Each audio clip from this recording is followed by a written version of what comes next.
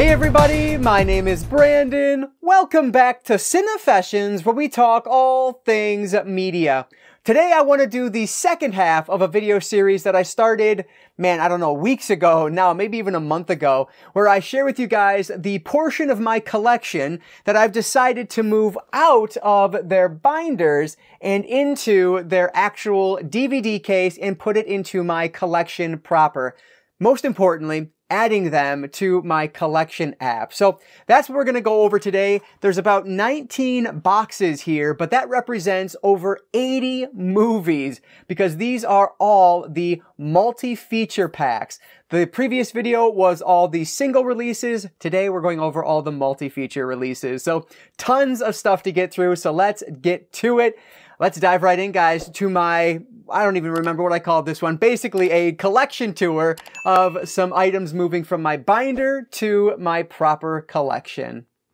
So I actually have these stacked from the lowest number of movies in the collection down to the most. So the first few here are double features. And this first one is really cool. I remember buying this one at, I want to say Barnes & Noble maybe a decade ago. Like it was a long time ago, but this is a horror double feature of The Curse of Frankenstein and Taste the Blood of Dracula. So I've not watched either of these yet, which frankly, a lot of these I'll be able to say that for. They go in the binder and they're just out of sight, out of mind. That's just the way it is. But yeah, I, I really want to get to these at some point. I've heard great things about them. I know, I don't know if both of these are Hammer films. At least one of them is. Uh, the Curse of Frankenstein, I believe, is Hammer. So yeah, I don't know. Heard great things. Cannot wait to eventually get around to these. So this is a horror double feature with Taste the Blood of Dracula and The Curse of Frankenstein. I have seen both of these next two here because they're both Goosebumps movies. So we have how I Got My Shrunken Head and Night of the Living Dummy, one of my all-time favorite Goosebumps stories. I actually read through, I did like a summer of Slappy uh, a couple summers ago now and read through a bunch of different Slappy books and I just, I love that series. So yeah, of course I love both of these and very happy to move these into my proper, my collection proper as I like to call it. But yeah, this actually, the, the Night of the Living Dummy, you can see here, it, it has, says uh, Night of the Living Dummy 2 and Bride of the Living living dummy. And then How I Got My Shrunken Head. Not my favorite story of Goosebumps, but still a pretty well done uh, movie here. So yeah, very cool to add this to the collection. This is Goosebumps, How I Got My Shrunken Head, and Night of the Living Dummy. I know I'm going to mess up and say adding to my collection. These have been in my collection, just not in my app and in a binder. So excuse me, I'm used to doing haul videos. But anyway, next up here, we have a I, don't know if these are, yeah, they are full moon. Okay. A full moon double feature of The Gingerdead Man and The Gingerdead Man 2, The Passion of the Crust. Now, fun story. I actually went to undergrad. I was a freshman when he was a senior with the lead character in Gingerdead Man 2, Passion of the Cross. Not good friends with him or anything, but I was in a show with him. And so it was really cool to see that he was in this one here. But yeah, I, I don't know much about these. They're going to be ridiculous. I think these are actually all available on Tubi as well, along with the Evil Bong movies. And the reason I bring that up is because eventually they have like a crossover, uh, one or two, maybe even three movies as a crossover between Gingerdead Man and Evil Bong. So definitely would love to watch these, these at some point. They're going to be awful, and that's that's what I'm signing up for with this double feature. So Gingerdead Man 1 and 2. This next one I also remember buying from Walmart, again, probably about 10 years ago. This is a true crime a triple feature. I think this is Echo Bridge. Yeah, Echo Bridge Home Entertainment, which you'll probably see quite a few of in this pile today. But we have The Six Degrees of Helter Skelter, so of course about Charles Manson. The Ted Bundy story, Guess who that's about? And then The Boneyard. That's one I don't see. Oh, it's Charles Ng and Leonard Lake. Okay, yeah. So definitely need to watch these at some point. Of course, it's been a long time now since they've been in the collection, but haven't gotten around to them. This is one that you can see here. It's a double-sided disc. So two movies on one and then the third on the back side there. So not the best, but hey, it's Echo Bridge. What do you expect? So yeah, a true crime triple feature. This is a really cool one because I love a couple of these movies on here, and I'm sure the third one's great. I just haven't watched it, but this is a Tom Hanks triple feature. We have The Money Pit, The Burbs and Dragnet. Dragnet is the one I've not seen. The Money Pit, I remember watching. My parents were watching it a long time ago, and I, I was watching most of it. I don't know that I've watched it from start to finish, but I've seen the vast majority of it, and it was really funny. And then the one I absolutely adore is The Burbs. Just a absolutely hilarious movie. One of my wife's favorites.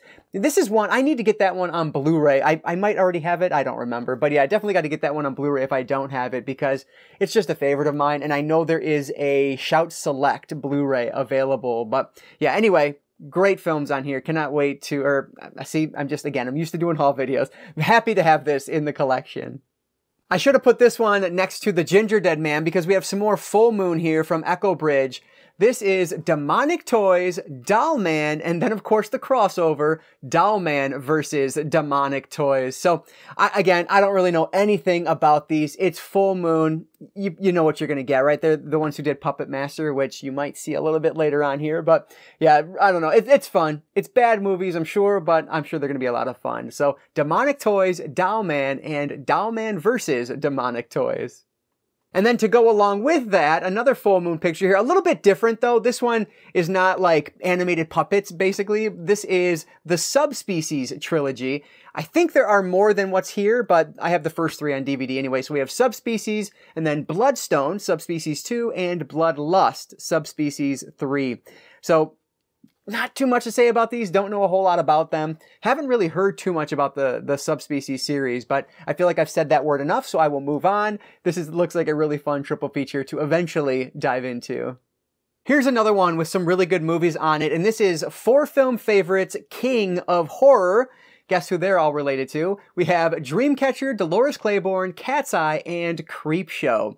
So I have seen half of this, I believe. Uh, Dreamcatcher is a, good movie, I guess I'll say. I don't love that one, but I think it is pretty interesting. And then Dolores Claiborne is great. Always like to do a double feature with Dolores Claiborne and Misery.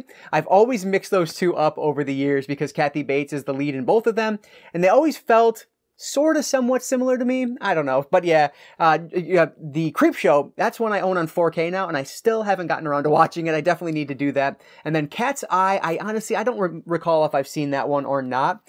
I may have. I know Drew Barrymore is in it. You can see a very young Drew Barrymore there. But yeah, so four King movies Cat's Eye, Dreamcatcher, Dolores Claiborne, and Creepshow. Here is another four pack for you. This is Soul Survivors, Jacob's Ladder, Bug, and The Eye. Now, I do own The Eye on Blu-ray already with Jessica Alba. That is an uh, Asian horror remake, a J-horror remake. I don't love it. I like the original better, but it is what it is. It's fine. It's inoffensive, I guess. Uh, Jacob's Ladder I've not seen, and Soul Survivors I have not seen. Bug is excellent as well. That's actually a play that was then made into a movie, and the play is amazing. Like, I really want to see it done live, but uh, what's his name is in this? Uh, Michael Shannon is in this, and he is, it is just like a, it's a thriller it's I can't even explain. It is it is such a weird film, but the paranoia of the film works so well. So definitely recommend that one. But I, I, need to revisit it. It has been a long time since I've seen the film, but I I love the play, so I definitely want to revisit that. But we have Jacob's Ladder, Soul Survivors, Bug, and The Eye. I used to love finding these ones out at Walmart because they are part of the After Dark Horror Fest. So we have four of them here. Lake Dead, Unrest, Crazy Eight, and Wicked Little Things. Now, I don't think I've actually seen any of these four, but Wicked Little Things. I started that movie many, many years ago and I was really liking it. I got maybe half an hour into it or so and we ended up having to leave and I've never gone back to it yet, which is ridiculous because I always think about that movie and how I just, I need to finish it. Like I need to rewatch that one from start to finish because it's one of those that has always stuck with me and I just haven't finished it. So I definitely need to do that soon here. But yeah, happy this is in the collection, and I always love having After Dark Horror Fest movies in here. So we have Lake Dead, Unrest, Crazy Eights, and Wicked Little Things. This next one looks so super cheesy, but I am so for it. We have a Snake Attack 4 film pack with Python and Python 2, Boa with Dean Cain in that one, which is awesome, and then Venomous, and that one has Treat Williams in it. So I like these are this is just so much fun. I, I've not watched these yet, but I love stupid like animal attack movies like this. So I'm sure these are going to be a blast when I do get around to it. If you guys have seen any of these, let me know if any of them are worthwhile. Um, I would always lean to like the one with the, the sequel, so Python and Python 2, but let me know. Maybe Dean Cain, I need to give him a watch in Boa. We will see. So a, a four pack snake attack set with Boa, Python, Python 2, and Venomous. I've only seen one of this four pack, but I've actually just pre-ordered it for a Blu-ray release that's coming out. We have Disturbing Behavior, Lady in White, Wicker Park, and Stigmata. Stigmata is the one I've seen from here, and it is awesome. Now, mind you, I've not seen it since high school. My buddy and I watched it together, and we loved it. But it is coming to Blu-ray I did I pre I, am fairly in my head I remember pre-ordering it but sometimes I think I pre-order something and I actually didn't but I think that was one I ended up pre-ordering because it's not a very bad price either. Uh, but yeah definitely excited to get that one on Blu-ray because I've been wanting it for a while. I think the I think it came out from Scream Factory and it went out of print but correct me if I'm wrong down in the comments. But yeah Wicker Park is another one I've always seen over the years with Josh Hartnett that I've wanted to watch I just haven't yet, so I definitely need to do that. And then I don't know too much about Lady in White at all. Disturbing Behavior is always familiar, but I've not seen it. I know James Marsden is in that one. But yeah, gotta check these out at some point down, down the line here. Stigmata, though, definitely recommend. So, Stigmata, Wicker Park, Disturbing Behavior, and Lady in White. This one here actually may have been a Dollar Tree find, so you might have seen this on the channel if you've been watching for, I don't know, three or four years now, but it is an Epic Disasters 4-pack. So we have The Black Hole, Absolute Zero, Disaster Zone, Volcano in New York, and Category 7, The End of the World. That one actually has Shannen Doherty in it. Disaster Zone has the Costas Mandylor, which is fantastic. And then Judd Nelson and Kristy Swanson are in The Black Hole. These are probably going to be absolutely god awful, and I cannot wait to visit this collection. I would love to do like a whole I watch vlog on these, you know, something like this, any one of these collections, but just watch the whole thing and, and talk through them and see if it's worth it at all. Again, super low expectations, but sometimes that's the best way to go into it. So a four film epic disaster collector set. Here is the first repeat of a movie I've shown already, but we have another four film set, the Thriller Collection, Queen of the Damned, Dreamcatcher, which I already talked about a little bit, and uh, Gothika and Ghost Ship. So Ghost Ship has one of the greatest openings in a horror movie. And then it kind of just gets mediocre from there. Gothika, I think, is really good, but I don't, I don't know, I didn't love that one on a repeat viewing. I thought it was really well done the first time I saw it, and then it was kind of uh, diminishing returns after that, but I still recommend it if you haven't seen it. Again, Dreamcatcher, not great, but I think it's decent enough. Queen of the Damned, though, I have not yet seen, so I definitely have to check that one out with uh, Aaliyah in that. So I've heard really good things about that, so I definitely need to watch it. But a really cool set here for, you know, a four pack. Queen of the Damned, Gothika, Ghost Ship, and Dreamcatcher. All right, so let's double it up now with these old eight packs that you could get at uh, Walmart back in the day for about five bucks, because why wouldn't I buy these, right? This is Midnight Horror. So there are eight movies on this one. The Reflecting Skin, Office Killer, Frozen in Fear, Strange Girls, Pinprick, Invisible, brothel, and the pit and the pendulum. So again, these are just going to be like the lowest of low budget. They are on two DVDs. So just so you know what's, what's in here. So you know they are going to be very low quality for even for DVD. But again, this cost me probably $5 back in like 2010 from Walmart. So I really can't complain too much. So a midnight horror collection with eight probably terrible horror films. This collection here is probably the coolest one out of the entire video. I love this. And at one point, I feel like this was super hard to find. So I was very happy that I still had it in my binder and I was able to move it back to its case. But it's another horror collection. But this one is cool because it has Bloody Murder and Bloody Murder 2, plus, which I, what I believe is the third film in that trilogy, Junior. That's really the reason that I was super interested in this because it's a bunch of, it's a slasher series that I've always wanted to check out. Course, I haven't yet, but I will eventually. And then we also have Severed, Children of the Living Dead, which probably has terrible quality, uh, creepy, qual- creepy Crawlers, Deadly Species, and Carnivore. Deadly Species, I actually started watching this a little bit ago because I was checking out some of the, the, the disc quality, like the video quality on it. And that one looked like a very mid 2000s low budget horror film.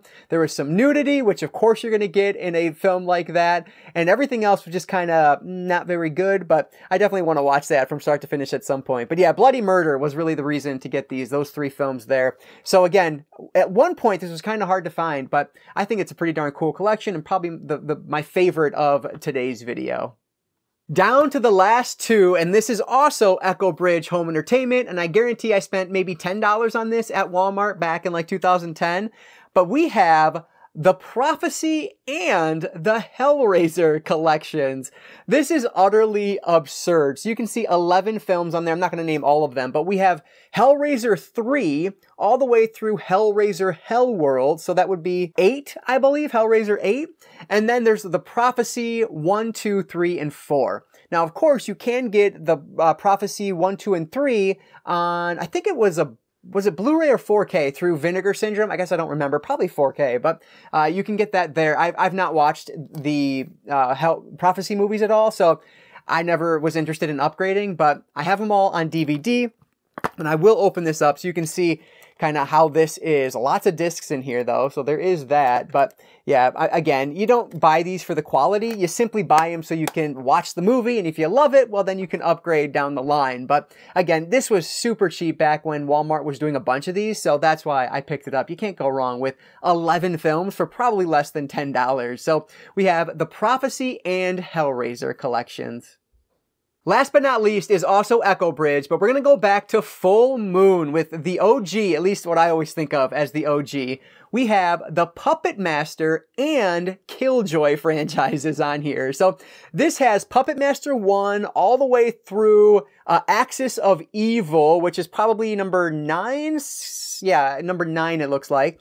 And then we have Killjoy 1, 2, and 3 as well. So yeah, the Killjoy movies look genuinely creepy because it's clowns, so I definitely want to check those out. Puppet Master, if you can believe it, I have never seen a Puppet Master film before, which is utterly ridiculous because I feel like they would be right up my alley. I definitely need to do an iWatch vlog on that. Maybe not the whole series, but at least start with the first three and then work from there. But yeah, so you have the whole Killjoy trilogy on one disc and then you have everything else here. Oh, you know what? I totally forgot. So I obviously like some of the the cases I had to mix and match in order to get the right number of discs again. So also included in here, let me take this out. I totally forgot about this. So that is 12 films through the Killjoy and Puppet Master movies, but then let me move that. But on top of that, I have the Carrie trilogy in here. Not trilogy, really, but the three movies of the Carrie franchise at the time. So you have the original, and then Carrie 2, The Rage, or The Rage Carrie 2, and then the, what year was that one? The 2002 remake of Carrie, which I've not seen. I definitely need to. Uh, fittingly enough, I actually, the, what was it, maybe 2012, 2013, the one with, uh, Chloe Grace Moretz, she is playing Carrie in that one. I'm all over the place. I'm getting distracted. Uh, that is coming out on 4K from Scream Factory in the month of March. And I actually, sacrilege, I actually like the remake, that, that version of the remake, better than the original Carrie, which frankly, I am not the biggest fan of. So, yeah, anyway, this one is just loaded because I kind of customized it a little bit, a, a, little, a little Huckstomization, if I will. Shout out to Huck uh, over at his channel because he always does that, and I, I love those. But anyway, huge set here. 15 movies ended up being in this one box, which is pretty awesome. So the Carrie franchise plus Puppet Master and Killjoy. And that is going to wrap up all of the movies that have gone from my binder over to my collection. All right, so those are all the multi-features that left the binder and ended up into my collection proper. I think I even had to go on eBay and buy some empty cases in order to fit these in because for whatever reason, I was dumb when I did this. This was probably five or six, maybe even seven years ago now. I ended up taking all of the inserts, like the, the cover art, out of the DVD case put that in a separate box, put all the cases in one box, and then put the discs in the, the binder. I have no idea why I did that because the plan was to keep all of those things. So I don't know why I took the cover art out. Genuinely not a clue. It made for such a pain to put everything back because obviously these are multi-features. They're going to require a certain number of disk slots in the case in order to fit. So I think I bought a few off of eBay and or Amazon, wherever I got them from, in order to make these all work. But I'm glad they work now. And frankly, I mean, yeah, it's a big stack, but it doesn't take up that much space. I mean, it takes up a heck of a lot more than this, but I think it's worth it. Not only are they, you know, on the shelf so I can see them, but they're also in my collection now as well, my collection app now as well, which I'll mention I use CLZ Movies, love it. I've actually just got CLZ Games, I have CLZ Comics, and maybe even the music app. I use basically their entire lineup. I love their apps, and so definitely check those out. If you're interested, it's super cheap. It's like I don't know. The gaming app is 15 bucks for a year. Movies might be closer to 30 for a year, but in my opinion, absolutely worth it. Not sponsored, by the way. But anyway, guys, that is it for the day. So let me know down in the comments below, what of this giant pile here would you like to see an iWatch, however many, vlog on? I would love to take any suggestions and recommendations down in the comments below. So thank you guys so much for leaving any and all thoughts down there. I really do appreciate it. But that's it, guys. So if you enjoyed this one, go ahead and hit that like button down below. That engagement really does help me out. But with that said, I just want to encourage you all before you go to consume some media today. Thank you guys so much for watching, and I'll catch you all next time.